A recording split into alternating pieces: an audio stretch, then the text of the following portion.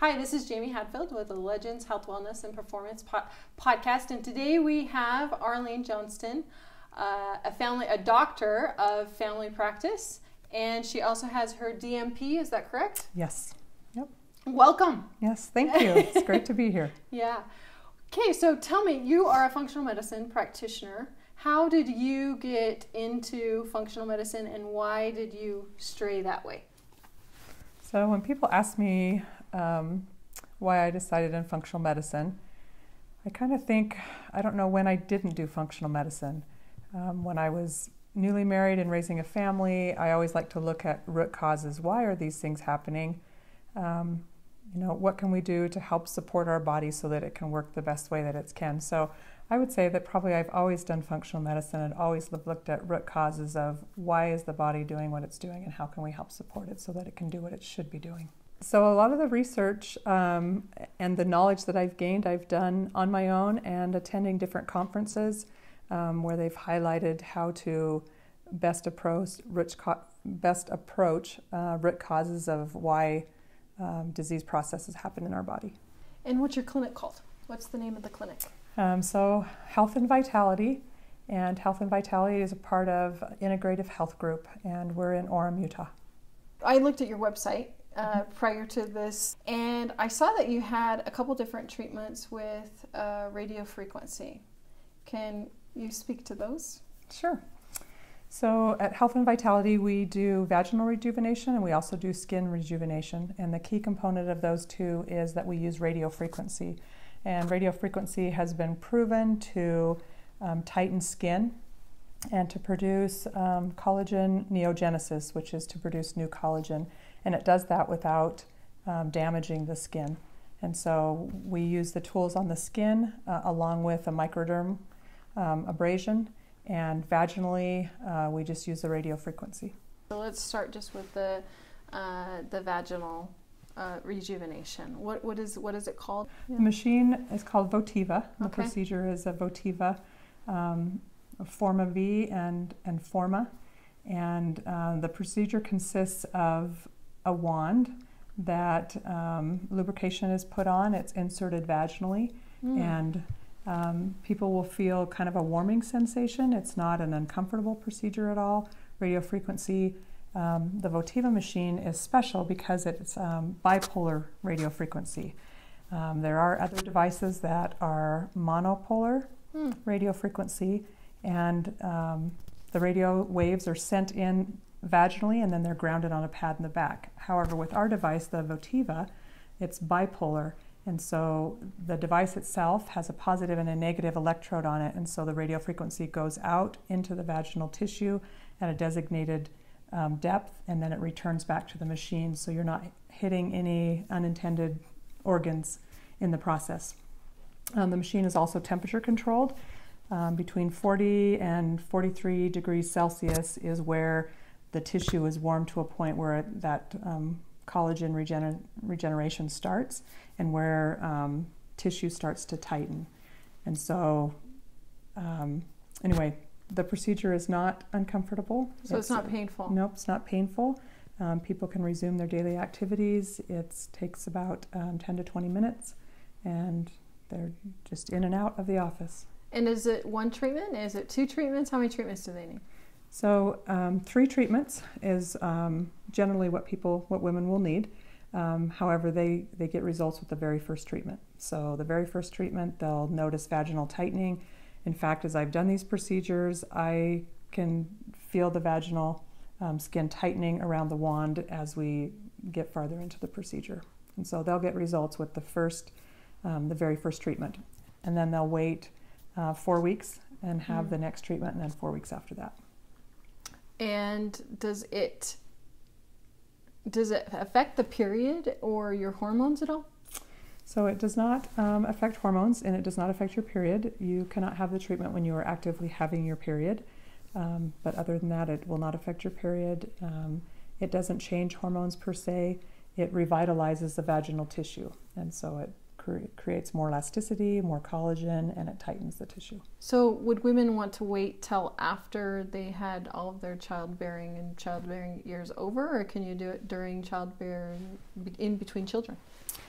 So that's a great question, and that's a great thing with the Votiva machine and with radio frequency is there are other options out there that are CO2 lasers, uh, and those are not um, approved for children of, or for women of childbearing years.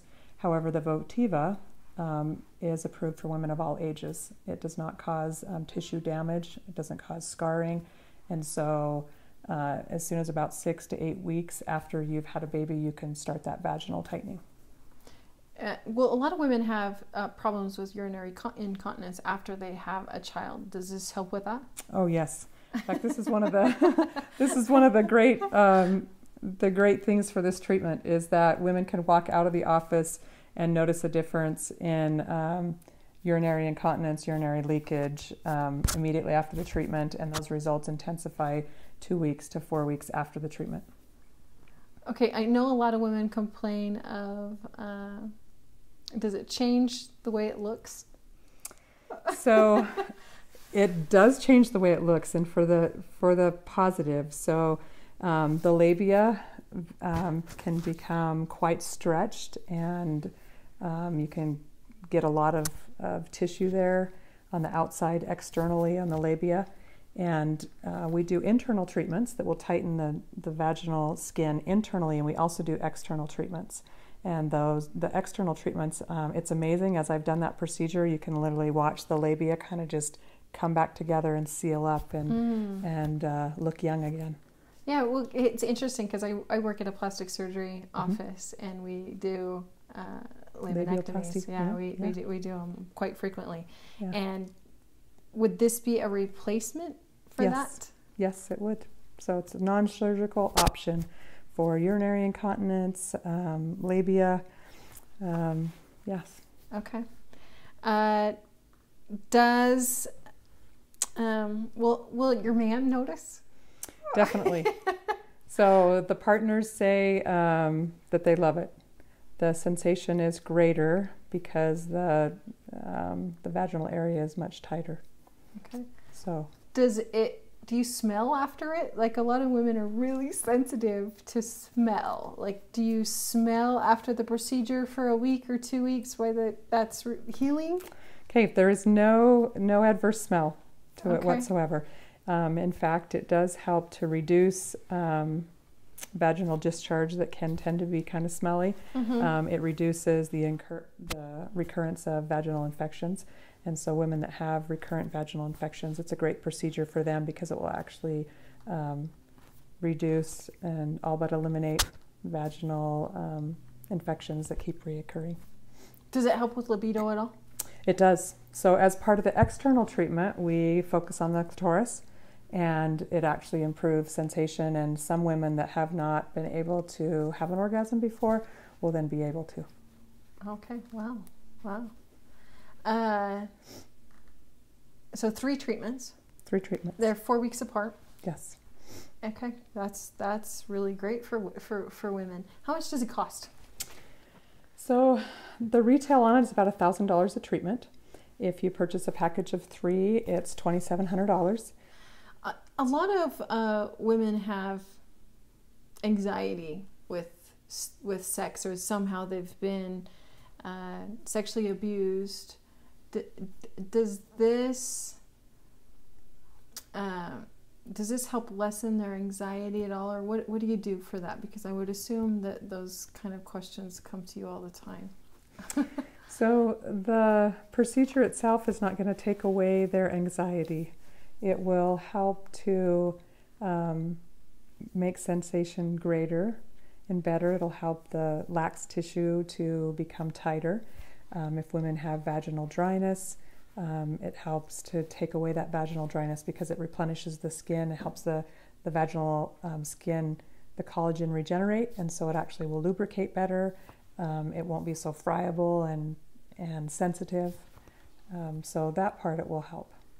I recently, I'm in the, everyone who follows the Legends podcast, you know I'm in the CBD world. And I have recently came off across some research that CBD can help with uh, the circulation of that area. Have you done any research there? Um, I haven't done much research there. Okay. No. So, so tell me a little bit about how that works. Well, it, it so supposedly helps with uh, the circulation, uh, increasing the circulation, the sensation, and CBD's been known to actually help with anxiety as well, and it to to kind of calm down a, a woman or mind because your mind can get distracted. Uh, during sex, or a lot of people, for both men and women, the mind actually can kind of get distracted. So it does from my knowledge that I've read, that it does help with that as well. And a lot of people, uh, CBD can be antibacterial, and the antibacterial can help with urinary tract and urinary tract infections uh-huh. that women are w- women are getting. Uh, wow. Uh, yeah. That is good. That's good. Yeah. They would be great together. The, yeah. the increase in blood flow to the area will definitely help the collagen to regenerate um, the tissue to lubricate well, um, and to not be anxious for a sexual encounter would be would be great benefit as well. The collagen, let's kind of go there because when I think of collagen, there's a couple things I think of. I think one of the skin. I think collagen and the skin because women are always promoting that. Mm-hmm. Is the, that collagen different than the vaginal collagen? You know, that we're trying to build up onto our women's faces. No, so collagen is what helps to keep our skin moist, keep it plump, keep it um, flexible, pliable, um, elastic.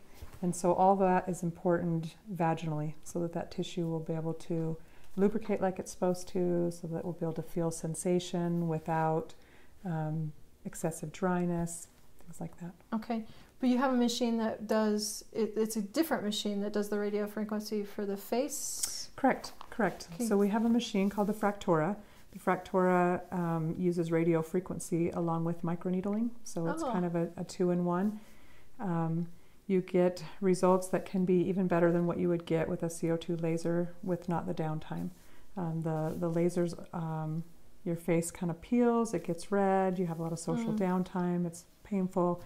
Um, whereas with the Fractora, using the radio frequency, you have skin tightening, um, you have the microneedling, and um, people can wear makeup a day or two later, so you don't have a lot of social downtime.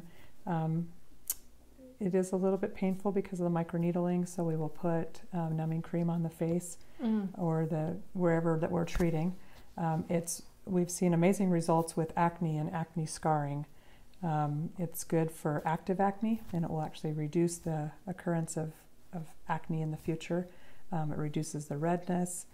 Um, and the great thing about radio frequency is that it does not concentrate in the melanin, and so um, skin types, all skin types, can use the, the radio frequency with the microneedling.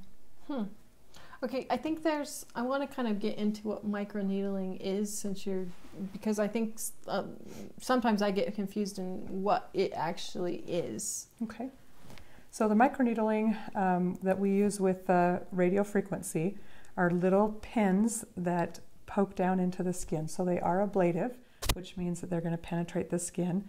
Um, the vaginal treatment is not that way, it's just the radio frequency. Okay. But when we do it on the face, um, when we do the treatment on the face, it actually has microneedles that penetrate down, and then these needles actually carry the radio frequencies. There again, it's bipolar, and so the radio frequencies go down into the skin at a depth that, that, we've, that we've controlled based on the tip that we choose. And it come, goes into the skin and then it comes back again. And so it causes tightening of the skin. So um, women that get the procedure can look 10 years younger. You can do it under the chin, you can do it on the wrinkles around the, the eyes. Um, it's like I said, it's great for the acne scarring. Does um, that take? How many treatments does that take? So it depends on what you're trying to do, um, but one to three treatments, um, including that would be for the acne as well. The acne ones are going to take a, a little bit more treatments, but okay. Uh, I've heard hormonally mm-hmm. that acne could be affected by the balance of your hormones. What what's the what that is, is that is correct.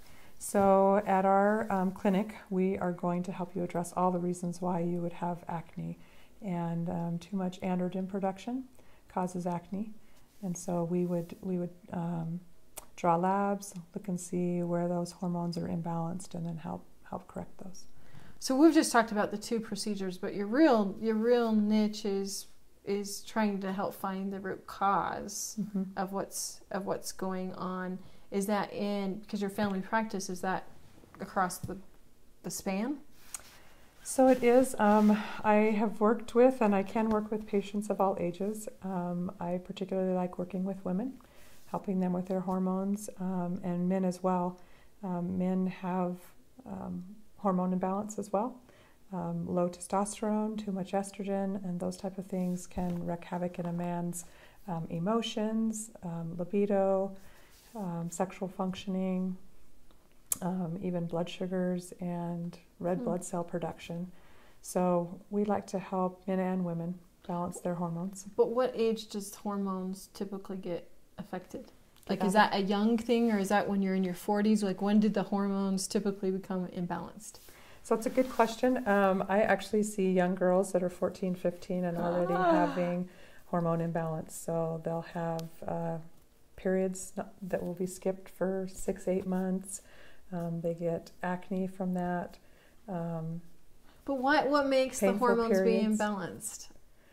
Okay, so the root cause, there we go. Yeah. The root cause of hormone imbalance. Um, a lot of it has to do with uh, the sugar that we eat in our diets, the processed foods, um, high insulin production, um, dysregulated um, liver detoxing, um, our digestion, not absorbing the nutrients and things like that that we need. Okay, when you say nutrition, Uh-huh. That that's a really broad term because there's you hear about the keto, the paleo diet. You've heard about every single diet, elimination diet. So when you're what is a healthy diet? When you're saying that diet affects the hormones, how does how does that come into play? So, a healthy diet is going to be one um, that doesn't have a lot of sugar, that doesn't have a lot of refined processed foods. Um, it's going to be more whole foods, um, focusing on vegetables, um, good quality proteins, good fats. Um, and people are individualistic, and so some some people are going to be triggered by glutens, others are going to be triggered by dairy, some will be triggered by corn. And so we like to kind of look at the root cause of what could be causing people to have, um, you know, a, a digestive system that's not working well. And um, is that a blood test? How do you test for that? yes, yes. So It's we a, can it's a, yes. it is it's a blood test. It's not just an assumption. Nope. We can test and see if your body's responding poorly to um, many different um, foods that you would be eating. Okay. Uh, is that an expensive test? Um, I guess based on your health, no. um, two or three hundred dollars can give you a very comprehensive look at your allergies, and um, and even um, insurance will cover some of those. Okay. well. Wow. Okay. So you said diet. What else did you say that affects the hormones? You said does sleep affect the So- hormones? Sleep affects the hormones. Um, stress affects the hormones. Your diet, um, toxins in your environment, also will affect hormones. okay. I want to go into a little bit more detail because I don't think people know what what does estrogen do in the body. What does testosterone do in the body? What what's the difference? Okay, so testosterone in women um, helps mildly with libido. It oftentimes will elevate right around ovulation. Um, estradiol in women um, helps to control blood sugars. It helps to um, have good bone health. It helps with our moods. Um, it's it helps to produce melatonin, serotonin, so that we can sleep well. Um, it controls our menstrual cycle, so it Oh. controls ovulation. so Uh, that's what's wrong with these 14 year olds that are coming in. So the 14 year olds that are coming in have high testosterone, and high testosterone is a result of high insulin. Uh, insulin triggers the ovaries to make more testosterone, and so testosterone is a much uh, stronger hormone than estrogen is. Um, and so, anyway, the, they don't produce progesterone the second Mm. half of their cycle because they're not ovulating, and it creates but a I don't know what imbalance. progesterone is. Tell me what Okay. progesterone is. Progesterone um, is a hormone that's produced in women by the ovaries. It can also be produced by the adrenal gland. Um, progesterone's role is to maintain the uterine lining the second half of a woman's cycle. So do all three of those the the progesterone, the estradiol, the estrogen, testosterone, do all three of those need to be in harmony for your hormones to work? Yes. Yes, they should all be balanced. For you to feel emotionally stable, for your periods to work like they're supposed to, for you to be fertile, um, your hormones should be balanced. Because I know there's bioidentical hormones mm-hmm. and there's other types of hormones. Is one better than the other? Um, yes, not even just my opinion. Research has shown that um, bioidentical hormones are best and um, and are not do not cause uh, inflammation in the body, do not cause adverse effects. So yes, I would recommend bioidentical hormones. Do you do those in your clinic I, as we well? We do. We do. Okay, so I what how do you do how do you give those? Is that a cream? Is that a pill? Is that a shot? What is that? Okay. So there's there are several different options. Estrogen should never be given orally, um, but you can take it as a cream. You can take it as a vaginal suppository, um, as a troche. Um, progesterone can be micronized. Bioidentical progesterone can be micronized and taken orally, um, and testosterone is given as a cream. Uh, because I know when, uh, let's say just 10, 15 years ago, I never even heard of hormones. Why have they become such a big buzz today? so I think with our, with media, uh, getting th- getting the word out there, people are are trying to to feel better, um, to live longer, and feel better as they live longer. And so there's more of a focus on that. Um, hormone restoration, hormone replacement therapy, has actually been around for for a long time, but we've now had a lot of research that's kind of helped to um, shed light on the fact that bioidentical hormones are better for for our bodies. All right. Do they help the anti-aging process? Um, they do. They do. They keep our so they they help with many things. They help control control blood sugar when our hormones are balanced. It helps to um, create strong bones. It heart, helps with cardiovascular, um, preventing cardiovascular diseases, um, and heart health. How how do women know and how do men know when they're disbalanced? They're unbalanced. How, how, what are the signs? Because how would I even know that I needed to come in to see you? I might just be grumpy right. all the time. so it would be different for, for men and women. Um, men actually tend to start to feel a little bit of depression, um, lack of motivation. They just don't feel motivated. They might notice if they've always been somebody that goes to the gym that um, they just don't recover well from their workouts, that they can't build muscle. Um, women would notice if they um, Wow, women would notice lots of different things. So they will have hot flashes, they'll just not have a lot of energy. Um, increased anxiety in women can be a hormone imbalance, depression can be a hormone imbalance, um, uh, unusual weight gain can be a hormone imbalance. So. But I think with aging, when you get in your 40s, maybe 50s, I think you just think that that is a part of old age. How do you how can you tell if that's just aging because I'm getting older versus a hormone balance? How do you tell the difference? So, just because you're aging, you shouldn't have um, vaginal dryness, you shouldn't have um, mood swings. Um, if you're still having periods, your periods shouldn't be extremely painful. Your periods should be regular, you know, 25, 30 days, not one one month and not have one for three months, or have one every 20 days with heavy bleeding. Um, PMS is a hormone imbalance. You shouldn't have PMS. So, those would be things that you would notice, and that's, that's not due to aging. Okay, what about is that the same for men?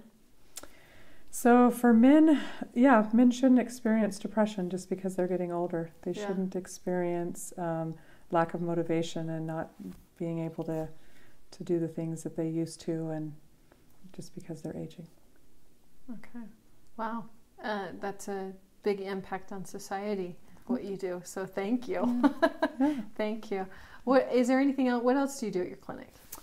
Um, so we treat a lot of people with uh, thyroid problems.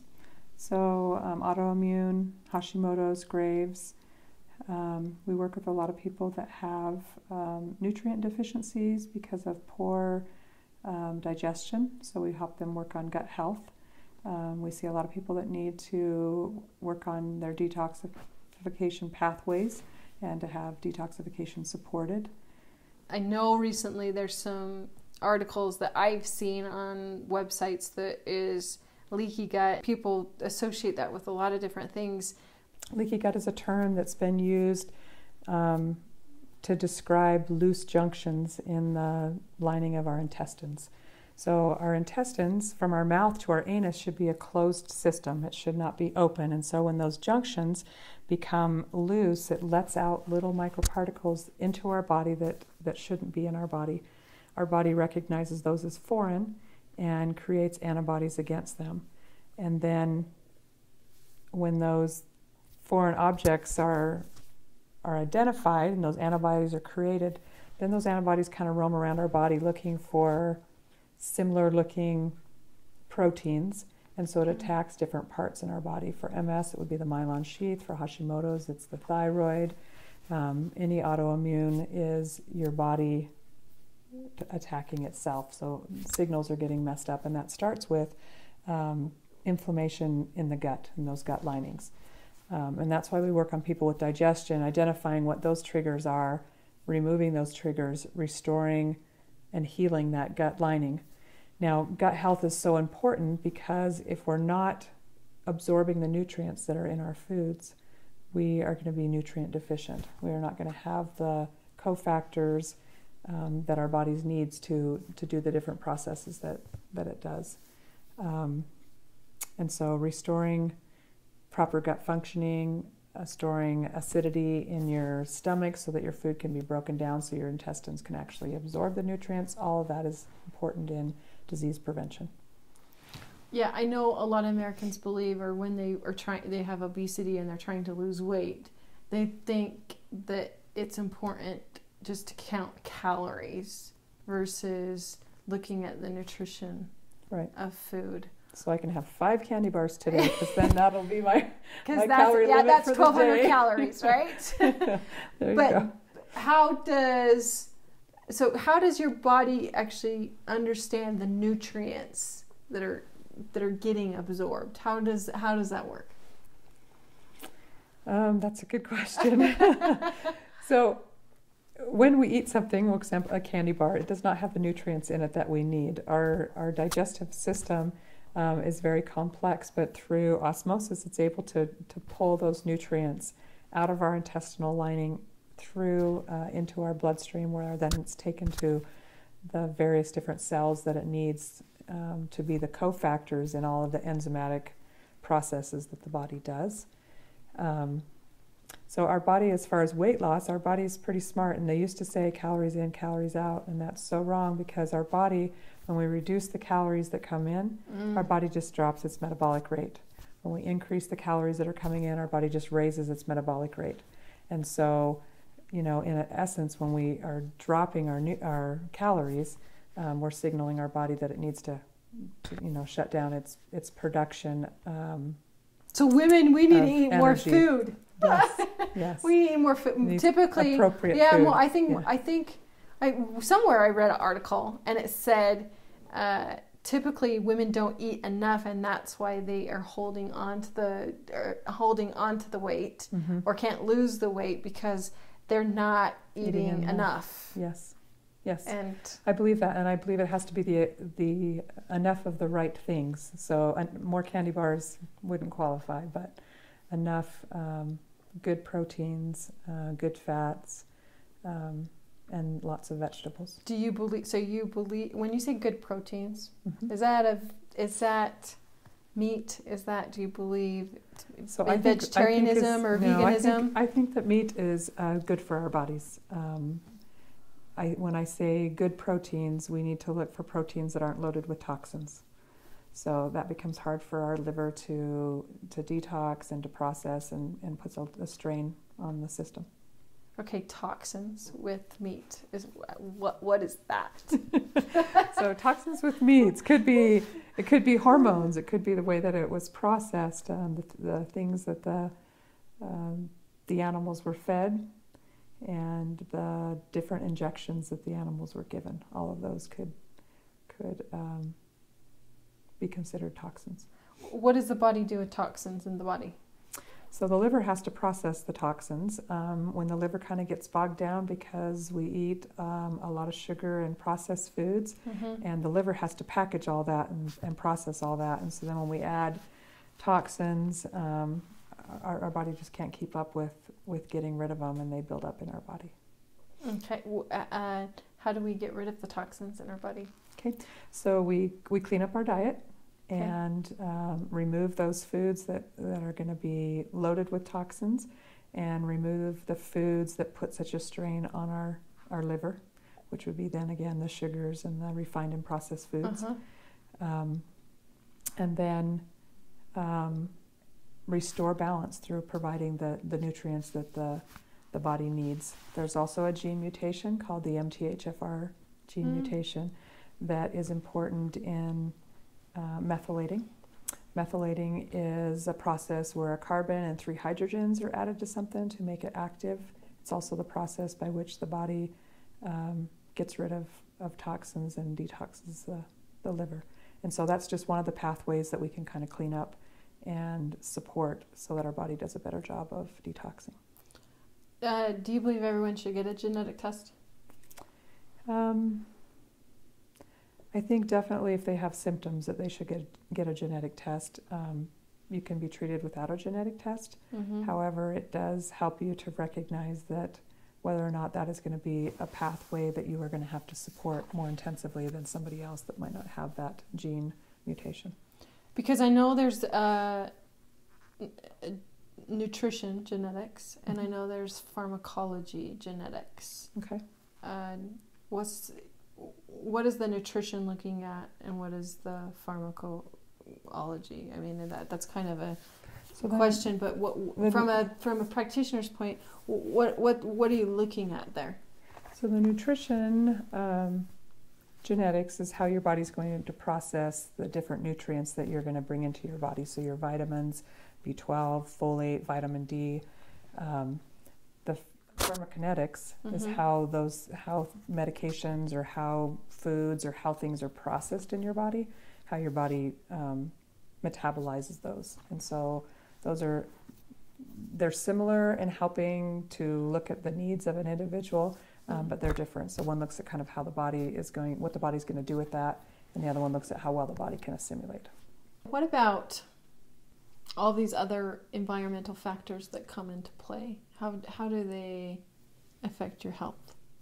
So there's a term called epigenetics and how it, it changes our genes um, as we're as we're living, and then we pass those on to our to our children.